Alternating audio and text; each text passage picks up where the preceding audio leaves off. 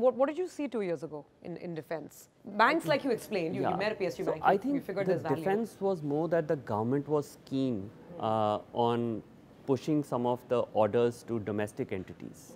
Uh, it, so it was not just uh, on the public sector, it was also on the private sector. It was a combined uh, research that came up with the thought process that defense as a sector will do well. Sure. So both public and private And have private done well. sector companies. Uh, have have done well.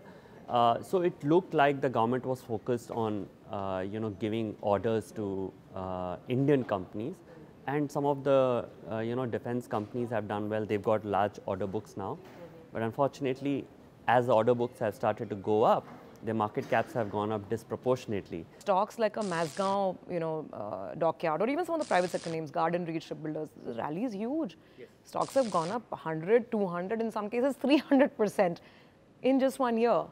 So is this a case where uh, you need to sort of hold back and start booking profits, or is this a multi-year structural story in the making where you've got to learn to live with high valuations? Yeah, so Surabhi, some of the names you mentioned, you know, were trading at three and four Ps.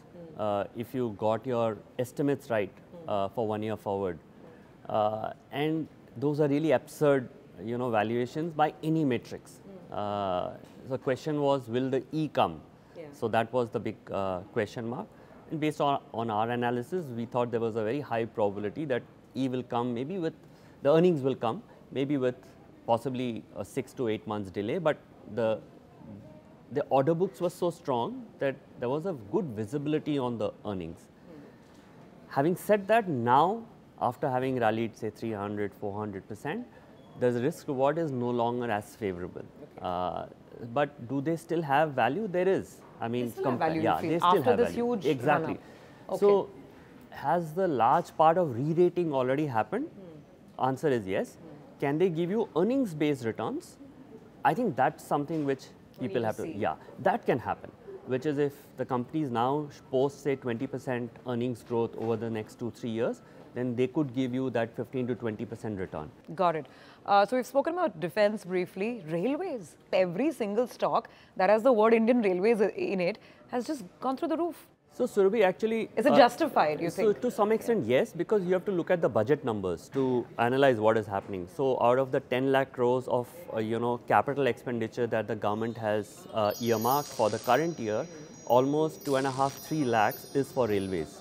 And that's a fairly significant number because it has jumped almost three times over the last three, four years.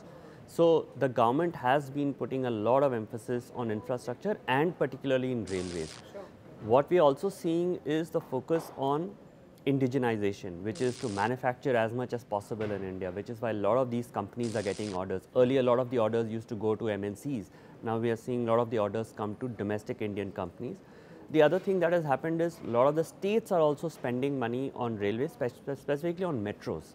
Right. So right, yeah. that that comes part of Yeah. the you know and railway companies like BEML, for instance, Yes. they are doing a lot of these metro orders Correct. as so well. that also Yeah. comes into some of these orders. So the opportunity set is huge, and some of the I would say the rally that has happened is is surely justified, Mm-hmm. uh, and maybe from here on also they will do well.